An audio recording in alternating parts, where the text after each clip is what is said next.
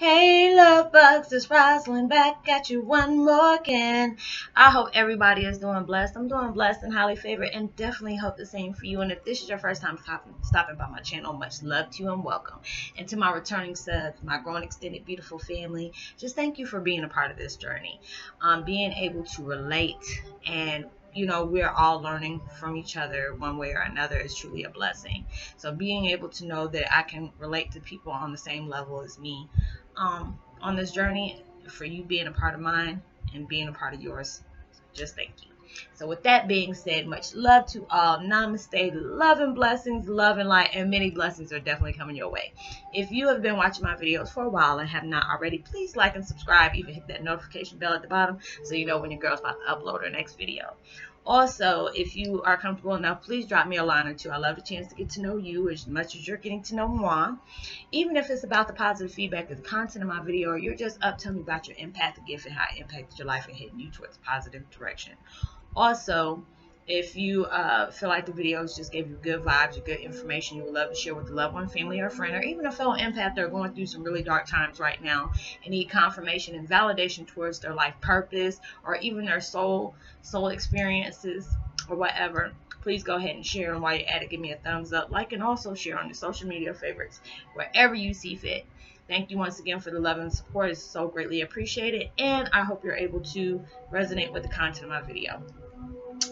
Today, this beautiful meditation I'm listening to today is 396 hertz. Let go of wor worries and over overthinking. Deep, calm state of mind. Mindfulness music. And I will post that link in the description box below. And my video today, oh, Jesus. oh, when universe sends me to do these videos, oh my goodness. Uh, Heyokas, knowing you're dealing with a narcissist. Now I did videos about this a while back. It is just always makes me cringe when I have to talk about negative stuff because I really don't like talking about negative things. But then if I step back and look, I would want somebody to let me know, you know, when I'm starting to head towards the narcissist. Because with us being empaths, we always have a bad habit of, you know, always trying to find the good in people. We do that all the time. That's our Achilles. You know, you're always like, oh, you know, sometimes I've seen some videos like recently, and I'm just like, oh no, yo, part ways, part ways, you know. Um, but it's just like a lot of times we're in situations, and it, it's not always just men; it can be females too. I've encountered both. Um, that you're always, you know, thinking that you can impact their life on helping them change. You cannot do that you, there's no way because they don't have any conscience. You know, half of the time you're like, do they even have souls? you know, you have to ask that because it's just like you have to be able to know to spot a narcissist. You know, um, you're, you're dealing with somebody who's very, very, very charming. Um, you have to be able to pay attention. You know, if you're trying to get into a relationship and stuff like that, you really have to allow yourself to get to know these people. A lot of times we, you know, they will cater to us to make us fall in love with them very quickly.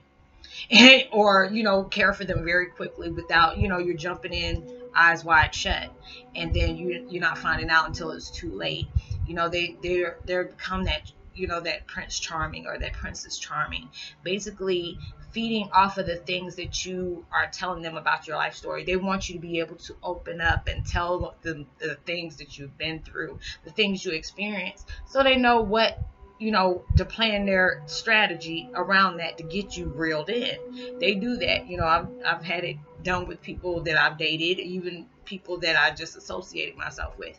They will use the things that you have against you like they'll they'll do that. They have put this facade up to where they feel like oh my gosh they're so perfect. They're this and they're that. You know and going through that it can be really hard. But it's just like being able to see that you know and dealing with them it, it can be a really messed up situation. You know i've had family members that are like that um, a lot of them you know, I even it was scary because I had to I noticed the things that I was triggered in that I started falling behind suit. I had to really pay attention to and let go of because I would see myself starting to mirror the things that they would do to me and I would do it right back. And I'm like, no, nah, you can't do that. You, no, no, no, it's not even in you to do that. So it's just like when you're looking at all these different things know that you have to be very careful about the things that you share. You really do. Because it's just like when I've dated other people and they were like, Well, what did you go through? I'm like, eh, I want to be talking about that. I, I just don't, you know, I'm focusing on what we're doing here. You got to be able to do that you know, because after, you know, if you've been with them for a while and you don't notice any patterns or whatever about dealing with a narcissist, then you can be open to certain things that you have gone through because some people will use try to pull the same tricks on you that you went through in a toxic relationship. So you have to be careful of the things that you share with other people because I'm telling you, they will try to sit up here and pull the same thing on guilt trip or whatever kind of things they do, you know, to do that. You know, when they're with you, they will place themselves as being a victim, especially if they, you know, they're talking about their, you know, their, their other relationships. They will always make it look like, you know, they're the ones that are victimized and not actually wanting to share the fact that they, you know, they victimize other people as well. The things that they're doing to you, they will project that off of the things that are happening to them or has happened. So it's just like, you know, I've seen situations where I was judged by other people that didn't even know me. They always tell people there's you know there's always three sides to a story it's their story your story and then there's the truth you know so you have to be careful with all these things because once you end up breaking up with a narcissist oh my gosh they will try to eat you alive. Because it's just like i've told people if they can't control you they will control how other people see you. I've, I've seen you know family members do that you know because it's just like when people first meet me they're very nice. And all of a sudden after somebody had a conversation with them you know they're not even giving them a chance to get to know me. And it's just like i've always had that strong mentality. Okay yeah you can tell me about this person. Yeah i will keep my eyes open but i'm not going to judge this person just because of the experience you had. Because no telling what kind of experience you had on how you came at them what kind of attitude you had what kind of mindset you have. Let me allow myself to learn this experience if this is the person i want to deal with. Because it'll you know they'll have you looking at them in a different way you know, I said I don't follow suit. I've never, I've, you know, I follow to the beat of my own drum. I've never been a follower. I did when I was little, and then I noticed how things happened. It jacked me up in the long run, so I had to learn to sound to go by the beat of my own drum. But yes, they will try to control you. They will con- con- try, try to, uh, try to control your atmosphere. You know, I've had people, you know, they, they will make it seem like you cannot live without them. Oh, things won't be able to succeed without this person being in your life. Because when you allow them to know that you no longer need them, they will put you down. They will use things that other people said against you to put you down, belittle you. Um, being able to bring drama towards your life, you know, sabotaging everything that you're working hard for to be able to separate yourself from them. Um, being, you know, they'll be like, oh, joking, not joking, you know, like sorry, not sorry. You know, they'll say something, oh, yeah, I was just joking with you, knowing good and well they weren't joking with you, you know, especially if it's about belittling that person. Um, some of them can be physical, I've I've had situations like that where you know when I was trying to part ways, they really tried to get physical with me. It almost cost myself, you know, them a free ticket to the hospital and me a free ticket to jail. So I didn't allow that to happen to me. So it's just like when you go through situations like that, you have to be careful. You have to watch out for the things because they will flip script on you really quick. You know, being that Prince Charming. Anybody ever seen that movie called Perfect Man? Uh, with Sanaa Lathan, Morris Chestnut, and Michael Ealy. That is prime suspect, the daggone, you know, narcissist, sociopath, and a daggone psychopath all at one time. You know, um, being able to, it's just like I don't like doing videos like this, but Universal said you have to talk about stuff like this. And I'm just like, you know, but uh, I hate, you know, I always like doing stuff that's, you know, bringing positivity to your life. But this is positive as well as I'll have you look at things, especially, you know, narcissistic people. They like to move really fast. You know, there's some of them you're like, oh, can we, you know, you want to move in together? Or there's a lot of people that, you know, got low self esteem and they see it a mile, of, you know, because it's just like when I'm seeing you know, a couple of my exes, how they will bring folks in their life, and you can tell this person has a lot of, you know, self esteem issues. You know, this going like, I'm like, oh my God, you, yeah, you're gonna prick the prime suspect, you know, suspect right there because they're gonna believe everything you say. They're gonna be hating on the other person. No, you don't even know what that person has been through, but you already hating on that person because of what they said you know because if you already know if it's on the up and up if anybody start coming back and telling you everything their their you know their ex is done constantly talking about that, that lets you know they're trying to make you see things one sided. And number one, they're probably pissed because the fact is they couldn't control that ex anymore.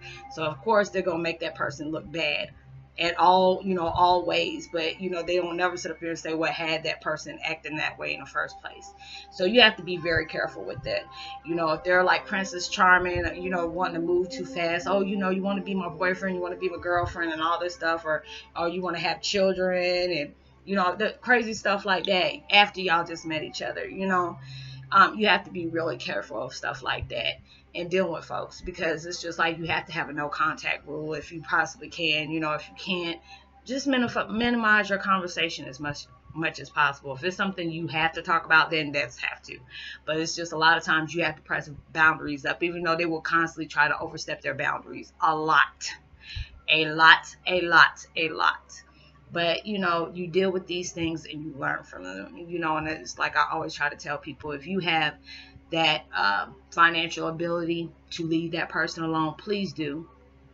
You know because they will try to reel you in to let you you know make you feel like you can't live without them. I've i've had that situation before where you know they felt like i couldn't live without them and i'm just like i'm living without you.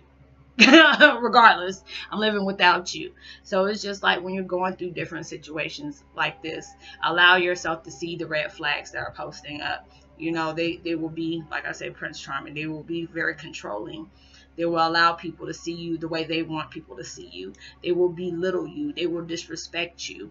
They will push they will use your weaknesses against you. So you have to be very selective of the things that you talk about especially from your past experiences just by paying attention to it. And that's a lot of times that's the reason why we go through these situations because i tell people never wish that you never had this experience because this experience is allowing you to know what to look for when this mess pops up again and then that's giving you that courage to walk away from anything that is making you feel uncomfortable and makes you question your sanity, your beliefs, and anything like that walk away.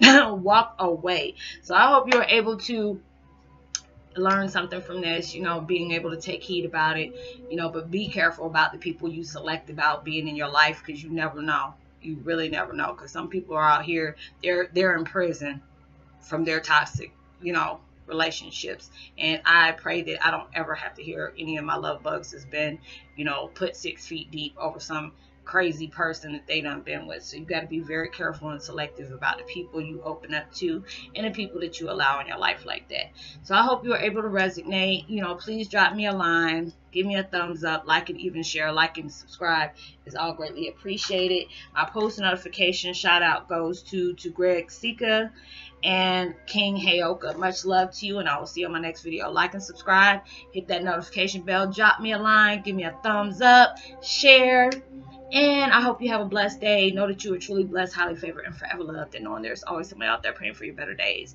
And send out as much love and light and positivity as you possibly can. And I will see you on my next video. Much love, peace, and be wild.